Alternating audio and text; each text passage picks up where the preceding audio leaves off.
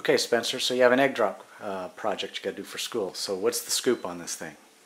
Um, so for the project, we make a some kind of container or something that can withstand a 20 foot drop and protect the egg inside. So how are you going to do it? Well, right now we have a little Valentine's teddy bear with us that's going to help us out. We cut open into it and stuffed an egg inside uh, two Ziploc baggies just in case you know it does go out, and uh, we got an extra one to protect it, and also um, just gets an extra little padding in the back. So what are you going to do? You did surgery on that thing? Yeah, we cut it open, and now we're gonna tie it up. Okay, go ahead. Kind of just make it tighter, so it's a little more protected. Okay, loosen, get that in there.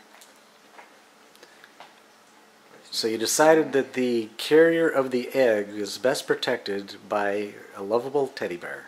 Yeah, it's definitely gonna help this thing out. I mean, it's really firm right here. It really should make a difference. Okay. Well, let's uh, see what happens here. Alright.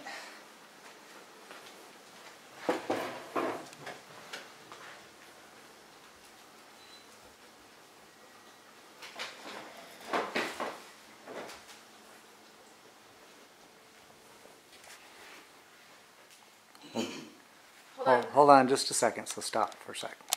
Hold on. Okay, so you have the teddy bear up there. You're gonna do it up a little bit higher, where, what are you gonna do? I'm gonna do it right from here. Here's our little cute little guy. Like that.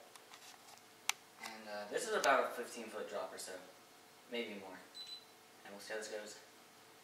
One, two, three.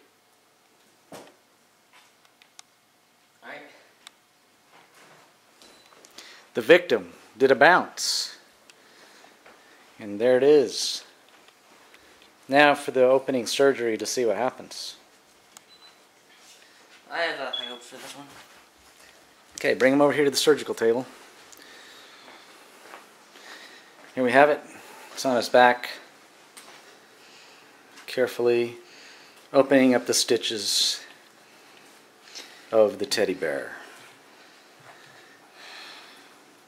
We will see if the teddy bear is indeed a perfect carrier for an egg. And Look at that. looks good. Looks good. We'll get close, maybe closer later. So what do you think of that, Spencer? Is that is that idea a crazy winner idea or what? I think we're good. I think this little teddy bear will definitely make a good grade on this project. Awesome.